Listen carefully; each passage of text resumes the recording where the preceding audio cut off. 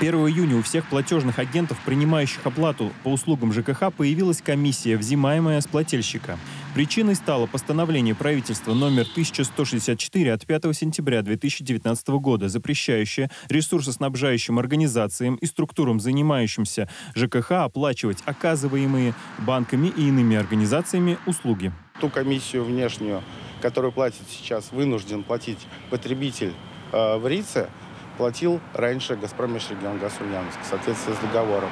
Но сейчас, начиная с марта 2022 года, в соответствии с вступившим в силу постановлением правительства Российской Федерации, а регулятор в лице Федеральной антимонопольной службы запретил подобные действия.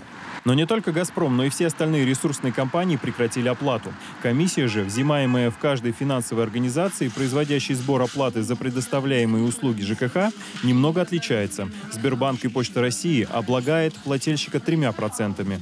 У РИЦ он ниже. Для групп компаний региональный информационный центр установлен размер комиссии 2% в городе Ульяновске, городе Димитровграде при приеме платежей через кассы и 1% при оплате через личный кабинет и мобильное приложение. Другими словами, есть вариант немного сэкономить на оплате услуг. Также при оплате через онлайн-приложение РИЦ у плательщика появилась возможность не только делать это дистанционно, но и подавать данные по приборам учета и получить отчет о платежах за любой период, не выходя из дома. Хочется отметить, что имеется возможность не оплачивать комиссию вообще.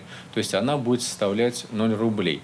А, эту возможность предоставляют ресурсоснабжающие организации, такие как а, Т+, да, а, Ульяновские электросетевые компании. То есть все ресурсоснабжающие организации предоставляют такую услугу. Чтобы оплачивать без комиссии собственникам помещений, квартир или домов, необходимо зарегистрироваться в личном кабинете у ресурсоснабжающих организаций и оплачивать услуги онлайн напрямую.